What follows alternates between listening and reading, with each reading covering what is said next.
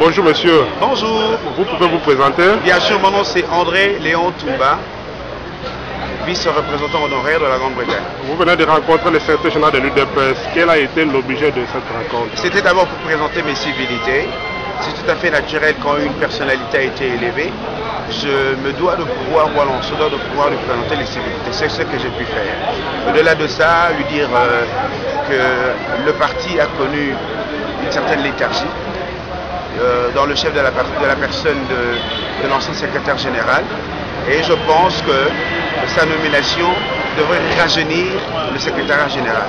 Donc c'est pour cette raison-là que j'ai considéré qu'il était important que je me déplace pour pouvoir le rencontrer, lui dire combien sont nos attentes. Nous sommes en train d'aller à une période fatidique.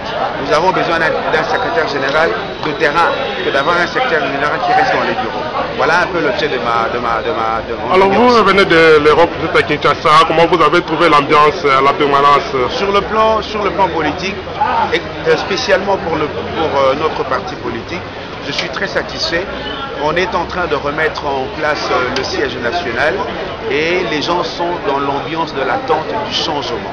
Je pense que ce changement que nous attendons tous de tout cœur devrait avoir lieu. Au-delà de ça, j'ai envie de dire que notre parti, nous sommes toujours déterminés à un dialogue. Mais le dialogue que nous voulons, c'est le dialogue par rapport aux résolutions des conseils de, sécurité des Nations Unies. Donc nous ne voulons pas le dialogue que veut M. Kofi. Merci beaucoup. Je vous en prie. Merci.